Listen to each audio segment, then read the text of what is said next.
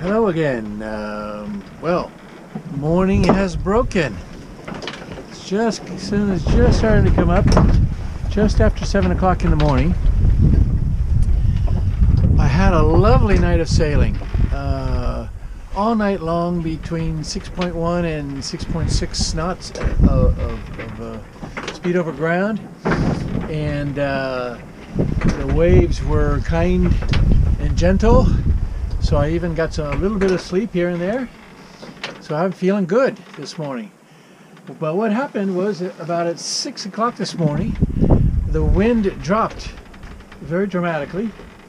So now there's probably 9 knots of wind. And what was happening was the boom, which you can see right above me here, the boom was fully eased because of the wind. We're, we're, we're running downwind more or less. The, the, the boom was fully eased, and with each passing wave, it would it would the inertia of the rocking boat would carry the boom to the center of the boat, and then the wind would catch it, the light wind that there is, and push it, slam it completely out, and it would go with a horrendous crash, crashing sound. That started about six o'clock. I put up with it for about 40 minutes and I said, no, no, got to do better than this. So what I did was I turned into the wind and uh, I dropped the mainsail completely. So the mainsail isn't up. And the Genoa that had been reefed is now fully, um, fully let out, fully unfurled. And the result of that was no more crashing or absolutely minimize crashing of the boom. And we're actually doing slightly faster. We're doing, instead of 4.5 knots, we're doing 4.8 knots, which is okay. Not, I think I'll just be patient and uh, accept what I've got here, 4, 4.8 knots, and enjoy the ride. It's time for breakfast. Hello, just a real quick one uh, for those of you who haven't been on a sailboat before, and you say, well, how do you cook? Well, uh, here's how it's done right there. Um, it's a gas stove. The gas bottles are the kind that you see in the supermarkets or gas stations, and they're out on the on the stern of the boat in a, in a cabinet, so well ventilated. And there's a tube that runs from that to here, so it's a gas stove.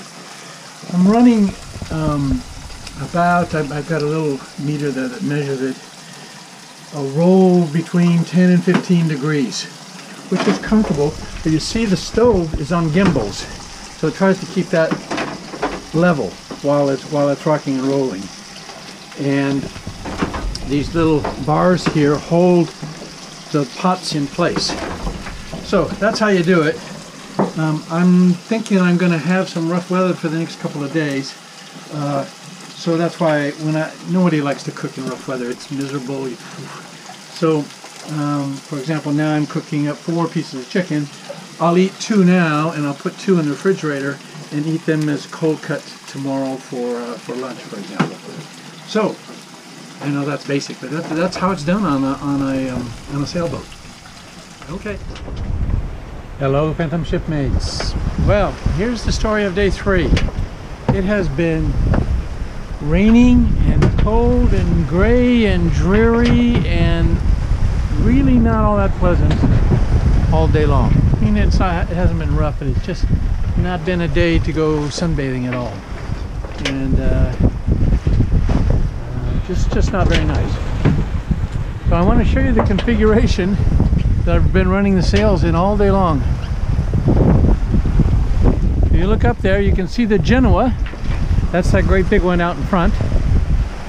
I've been running with the wind all day long in that configuration and I dropped the mainsail doing that all day long I've been running between five and six knots. It uh, it'll go up to five uh, five six five five all day long just on the Genoa. Now you you purists can say well why didn't you why didn't you rig the, um, the spinnaker? And the reason is uh, one, I was supposed to get a little higher winds than, than the forecast was, was for higher winds than actually occurred. Secondly, it's been raining all day. To rig the spinnaker, I have to go up forward and it's quite a quite an effort for those of you who have done it before. You know what it is to rig a, a spinnaker. And I just didn't want to take a chance of uh, slipping and falling and hurting myself, or even worse, uh, falling overboard. Well, I'm always hooked up, so I would not fall overboard, but you can get hurt. So I said, what the heck? So I just put up the the Genoa and have just been running with that all day long. And the reason I dropped the mainsail is that the wind isn't quite strong enough. You see how it flip-flops back and forth? Well, it does that with the sail out as well, except it does it with amazing force. And it slam crashes back and forth like that. Makes a heck of a noise, and uh, I'm sure it's not good for the equipment and all that. So I just said I'm going to drop the mainsail. The other thing of having the mainsail up is it partially blocks the uh, the Genoa as well, blocks the air of the Genoa. So here we are five and a half knots right now. When I, when if they were up together, I'd probably be doing 4.7, 4.8. You know, so um, I'm I'm happy the way uh, the way things worked out. Been doing this all day. I see just a trace of blue sky on the horizon. Um, hopefully that will be the night that I'm going to have. Um, I did start the engine for a very very short period of time not for electricity, but for hot water. Um, the engine has a, a cooling, uh, yeah, it actually is a cooling circuit of water that runs through it that if you open a couple of valves, it runs through the, the, wa the water heater as well. And that gives you warm, uh, fresh water. So, um, uh, and that's always nice for cleaning up and washing. And I actually uh, you know tomorrow will be the fourth day. I actually would like to take a shower tomorrow. Let me just show you that. These boats are quite nice. They come with all the facilities mine has two heads in it head is the expression we use for toilets and there's a shower there's even a shower right there that you can uh, take a nice shower I actually don't take a shower inside. Um, the water goes down, you push a button and it gets pumped over the side. Um, I actually just take a, take a shower. I bare myself to Ariel and all of the mermaids and there's a, another shower spigot out on the deck there and that's where I take a shower. So hot water, shower tomorrow, con uh, weather conditions permitting and uh, to make in between five and six knots all day long today. Um, I'm sure that that will continue, I think, for most of the night. Very comfortable ride. You know, we're not, it's not like we're pitching up and down and, and uh, just hook on here. It's not like we're pitching up and down and in, in difficult conditions.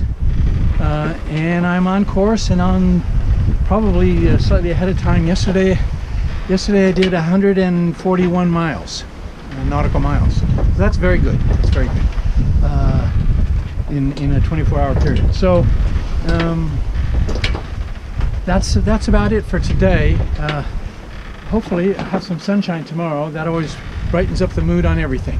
And uh, come out on deck more often, warm up, and uh, cheers the mood up. Whereas today, I spent, frankly, I spent most of the day down in the cabin because it was just wet and cold and not, not pleasant outside.